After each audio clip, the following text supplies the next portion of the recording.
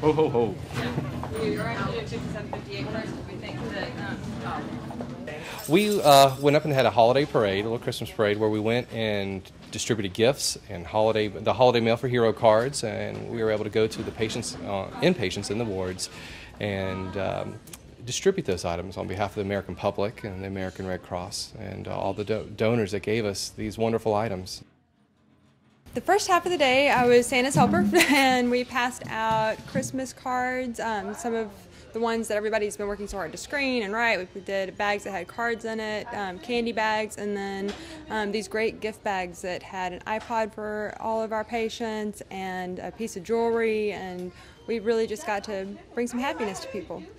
How you doing? Ho, ho, ho. What up, Santa? You doing well? All right. Santa, did you go on a diet? You got a little thin there. I there. know they put me on a diet up there. When I go up to the Brown rice. wards, like today, when I was handing out these presents and the cards, tears were forming in their eyes, tears of happiness, tears of joy.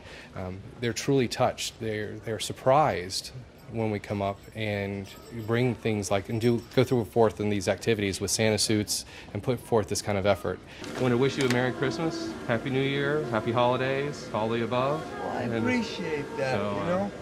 That is, No problem. that is wonderful of you guys. We appreciate. I've been working with the Red Cross now for 10 years, and this is by far the most rewarding experience, rewarding position I've ever had. The soldiers are and their family members are extremely appreciative of the American Red Cross and what we do here at Walter Reed. God bless you all. You know what? They're all heroes. Even those that are over there and healthy and strong, they're all heroes. Yes, ma'am, they And are. the day they joined, Yes, ma'am, they are. they are. Now, you know where our, where the Red Cross office is on the third Yes, floor? I do. Okay, great. So anytime you need anything, we'll be open on Christmas Day too. So if you need anything else, swing, swing by. Okay. God bless you all. Thank you. Thank God bless you. you. Well, on behalf of Red Cross and the American public, we have uh, some come bearing gifts. We have Christmas cards, snacks, CDs, DVDs, and some other items in here. They're really good stuff. Make sure you go through and and uh, check it all out. I think you'll. Uh, They always look forward to us visiting them because we always come by and offer, ask for their suggestions of what they want and what they need. We always come in with a big smile on their face, and it just it seems like it's a big confidence booster for them.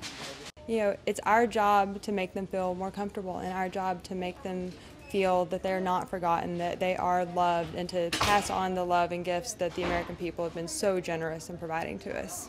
The Red Cross represents a piece of home for people, and um, it's so funny how you connect with different service members because you know you're both from Texas, or you're both from New Jersey, or you're both Redskins fans, or just giving them that little piece to hold on to when they can't be home for Christmas, when they can't see their, their family. Having carolers singing Christmas carols in the background in the hallway.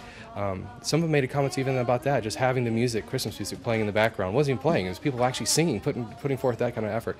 It means a lot. I mean, it touches them. There is nothing else in this world like it. And I am truly blessed to be able, I'm gonna cry, um, to be able to work with these amazing men and women. I truly believe it's every one of our obligations to get out there and provide the service that we can. You may not have the money, you may not be able to sit down and write a thousand Christmas cards, but you can brighten somebody's day. all the above. Good morning, how are you today? Very good. How you doing? Great.